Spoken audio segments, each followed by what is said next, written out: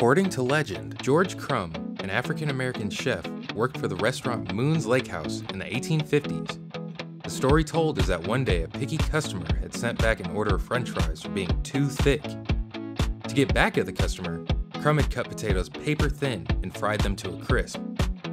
He had also salted them, perhaps a bit too much. When Crum sent out the chips, the customer had loved them. This is what led to the popularity of potato chips.